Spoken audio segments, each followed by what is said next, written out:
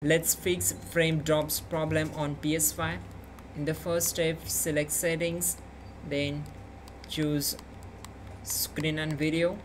Select video output on the right side choose resolution as automatic then turn off VRR option. Select 120 Hz output to automatic and turn off ALLM option.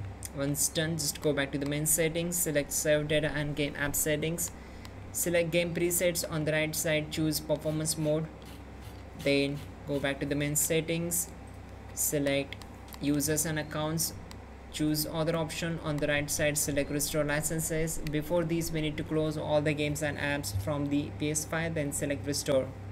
This will take around four to five seconds to complete the process and then you need to wait for it.